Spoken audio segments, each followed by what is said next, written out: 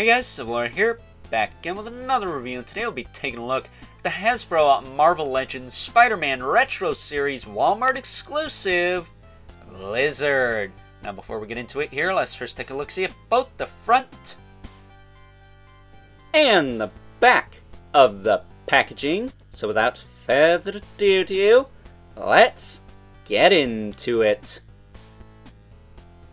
Now before we get into the meat and taters of this review, I would first of all like to say that this review right here is brought to you in part by my good buddy Evil Villain. Click the link in the description below and check out his Instagram. Head on over there, give him a follow, let him know Overlord sent ya. But with all that being said, the lizard does come with two interchangeable hands. One fisticuff to punch you right in the kisser, and one kung fu grip hand or is it a, dare I say it, turn your head and cough hand? Oh yeah! No, it's not. He's got that on him already. Ho ho! Somebody came prepared. On top of that, though, he comes with two, count them, two flasks, not beakers.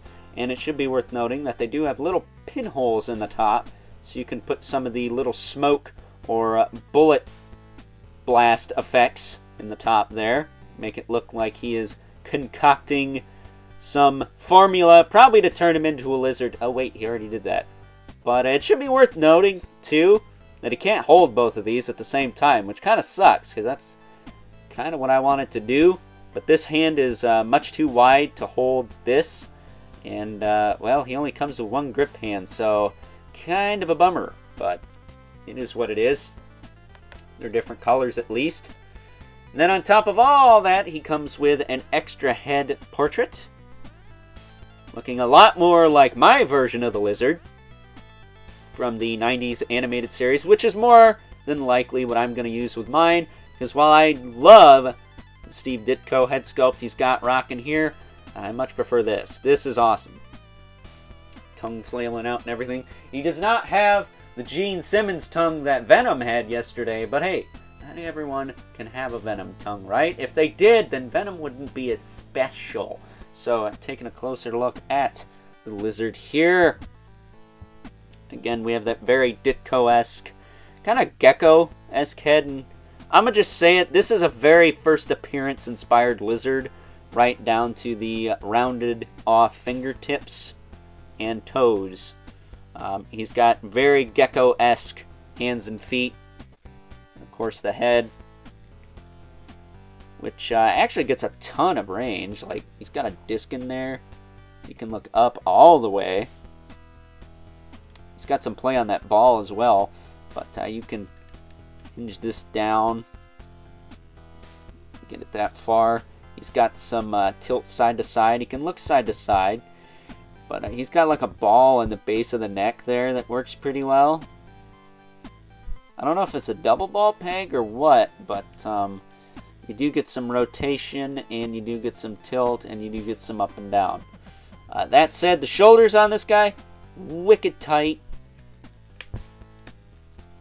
Go out about that far. It'd probably go out a little more, but I don't want to push it. Um, I probably need to loosen this up with either heat either either it's either heat or some lubricant. Um,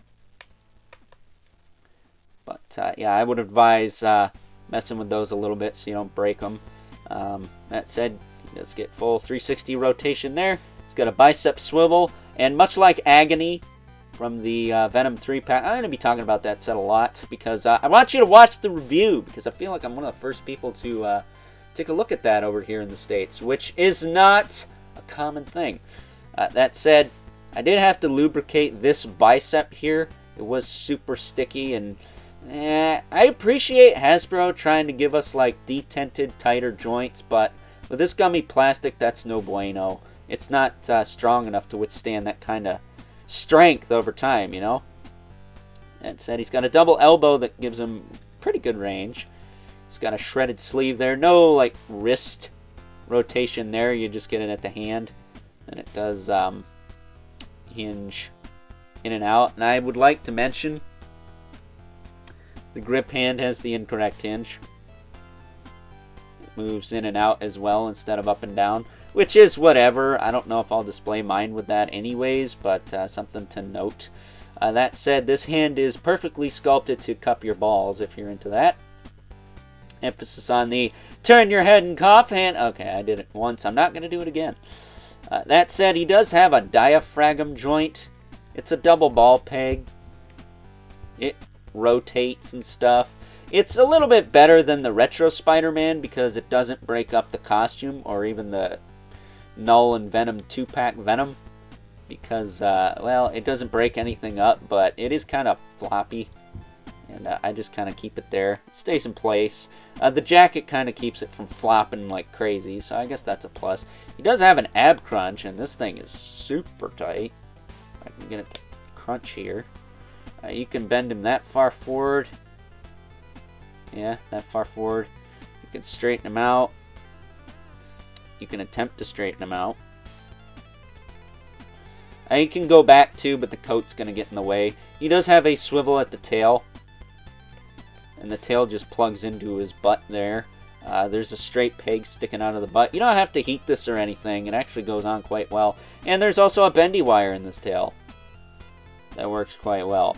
Uh, granted, you only really get movement towards the middle of it, but hey, it's better than the Build-A-Figure tail. Though I will tell you, I have a, I want to say Spyro the Dragon figure from NECA Toys that has a tail that consists of double ball peg joints. It looks pretty clean, and you get a ton of range out of it. I would like to see them uh, experiment with that with the Lizard because he does have these big segments here. I think they could pull that off if uh, they put their heart into it. But uh, let's face it, uh, Hasbro don't do that all the time, do they? Heyo, um, that said, this lizard figure is 100% brand new and pinless. Um, but he can kick forward, he can kick back, not much. He can kick out to the side. The coat is soft enough to where it will get out of the way. It's got a thigh cut there. It's got a double knee. It's also pinless. Works pretty well. There you go. Crunches up pretty far. And he has a calf rotation that's nicely hidden by the pant leg. And I actually heated mine up and popped them out and loosened them up a bit because, again, they had that detented swivel, which is nice in theory, but these pegs, they're gummy. So that's not uh, gonna fare well over time. That and this side on mine was super tight, but now, as you can see, I can spin it all the way around. There's no squeak in there. And it's not loose or anything. It's tight enough. Uh, this side is a little bit tighter, but I, I took the detent out, and I didn't actually have to put any lubricant in there. This, I heat blasted and put lubricant in there. Uh, that said, he does have a hinge in the ankle with a rocker joint, which I also heated up a little bit. It's not as bad as the um, Carnage that has kind of the detented ankles, but it was tight enough to where I felt the need to uh, you know, work on it a little bit. But he does have peg holes at the bottom of the feet. For the stand, he really doesn't need, though I will say my lizard has taken a tumble a time or two, not because of the calf, but just because of the way he is. Uh, you gotta find the balance, but once you do, he stands right up just fine. And uh, he looks awesome, man. Uh, really stoked to have this figure. Sucks that it's a Walmart exclusive, so, uh, you know, good luck getting a hold of it now. I'm still waiting for that Asbat to come back in stock, but, um, you know, it is what it is. And that animated Spider-Man, since we're talking about Spider-Man stuff. But, uh, yeah, that is the Retro Carded Lizard. Another fine addition to the Spider-Man Retro series. We've been getting a lot of solid releases from this series over the past year. Uh, a lot of stinkers, too. I heard that Spider-Man 2099 was, uh, well, no good and broke instantly. I don't know enough about Webman to say whether or not that's a decent figure, but it looks okay. Um, trying to think uh, of the retro carded figures though. This one, Shocker, um, Hammerhead, we took a look at earlier this week, as well as the da, da, da, animated Spider-Man seem to be the standouts for me personally.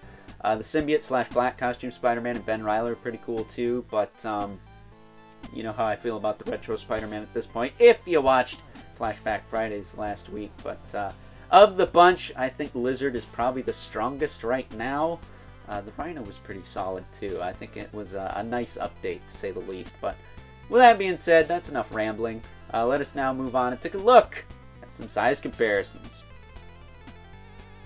First up, here is the new Retro Series Lizard alongside our temporary regular Force size comparisons for Spider-Man Week here on this channel. Good old Retro Spider-Man, and as you can see, Spider-Man and the Lizard are about neck and neck as far as size goes. And while I know that at least this incarnation of the Lizard isn't supposed to be larger than life, like some people, he should at least be taller than Spider-Man, right? It is what it is, I suppose. That said, we also have the Build-A-Figure Lizard from, I believe, 2018, if I'm not mistaken. Side note, if you watched my Venom 3-pack review yesterday, where Lasher made a guest appearance, he came with the head to that figure, so it all comes together at some point in time, right?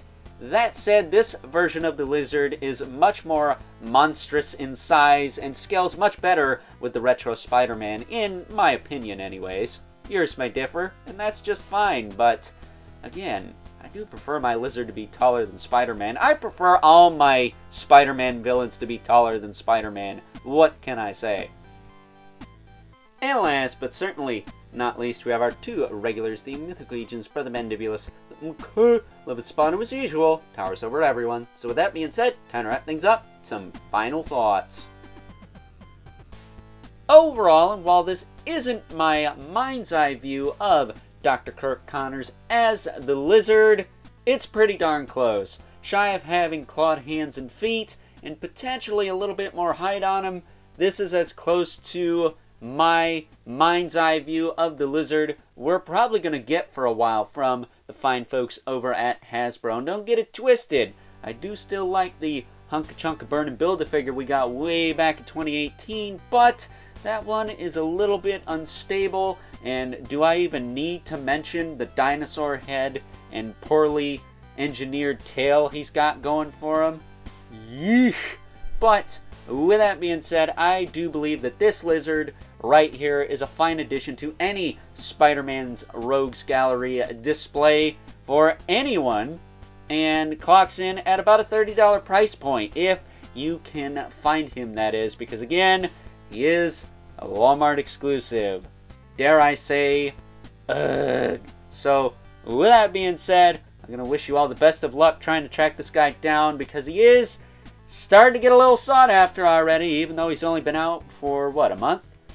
Yeah, that's just the name of the game nowadays, unfortunately. But, in any rate, I hope you guys enjoyed this review. If you are so inclined, please don't forget to comment, like, subscribe, and hit the bell so you know whenever I upload more reviews like this one. And stay tuned because we're going to be wrapping up Spider-Man Week here on this channel tomorrow with a review of what is, in my opinion, the best Spider-Man figure we've got from the fine folks over at Hasbro in the Marvel Legends line in its entirety. Spoiler alert, it's not the Renew Your Vows 2-pack version. But, if you haven't already, please hit me up on Instagram at Overlord Productions. But as always, keep the comments civil. The world sucks enough as it is, especially when Gummy Plastic Man is a pain in the nuts. And until next time, I'll catch you guys later.